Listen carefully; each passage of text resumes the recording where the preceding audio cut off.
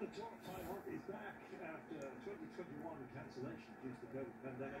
The race at UCI 2.1 and we can't wait to get back in action. It's a superb run of five stages on this island nation. And as usual, it draws plenty of enthusiasm from a wide range of places on the planet.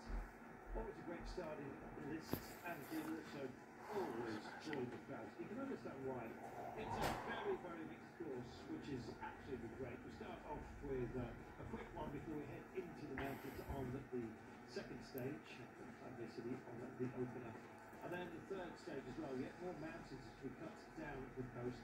It's not that we don't play with the high ground, however, and indeed uh, there's some big mountains for us to play with and to indeed. It's going to be a great race.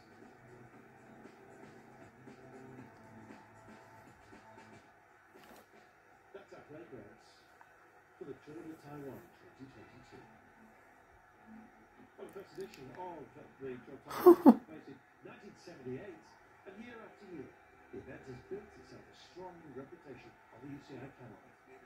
an important role uh, in the development of cycling, uh, not only in Asia but also the world. Uh, with, uh, with a strong leadership dedication from the Chinese Taipei Cycling Association and from the government itself. It's a respected race. People are happy to come and it promotes uh, the country. It also promotes sports tourism uh, as well. Uh, so uh, heads up to, to, to the organizers. Yeah, it's a great race. It is a great race. The international dimension very strong as well here for the Tour de Taiwan.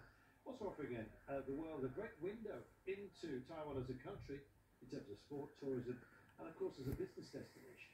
As a matter of fact, our project, Taiwan Excellent Project, resonates with Tour de Taiwan. Why? Because number one, we are pursuing for excellence. Number two, innovation. We always think that only innovation can lead us to a better new way of life. All right? And de Taiwan is also pursuing for innovation, innovative skills, innovative products that would make them perform much better. With 65 riders coming from 20 different countries and teams uh, from the five continents, the Tour de Taiwan is also telling a story of its growing international reputation and, of course, matching the growing popularity of cycling globally. For cycling, I think it's very important. It's definitely a global sport. People ride a bike all around the world. So it's good to have the crowds here that they can look up to these pro cyclists and like for people in Taiwan, they can hopefully uh, get a bike themselves and become bike riders. For us as a team, we're a development team. We're mainly under 23. This is the UCI 2.1, which is a very high category for us. So it's a great opportunity for our young guys to like compete against some of the best riders in the world and show themselves and try and move up the cycling ladder. Well, we all know if there's an equation it's always going to be a good event. And this one is a terrific one. Well, stage one of the 2022 Tour de Taiwan taking place in the capital city, Taipei, with a circuit of eight laps in the city for a total of 83 kilometres. Stage one run with high temperatures between 32 and 35 Celsius, 50% humidity, not the most complex of courses, but that indeed draws some plaudits. It's a great way to start indeed, you can always keep an eye on the opposition. You may well be passing them on the opposite side of the road.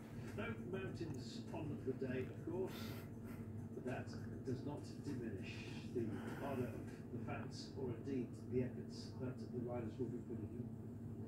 Well, a very pacey start. A lot of animation once the flag had dropped. And indeed, uh, as you can see, great of starting it as well.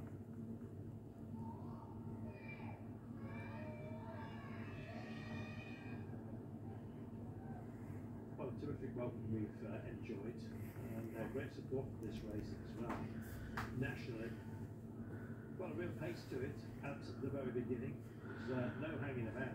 Uh, wanting to get themselves off and up into a breakaway. In the end, two broke clear, and we were wondering how this. it's Taiwan, Japan, or Hong Kong, I forget now.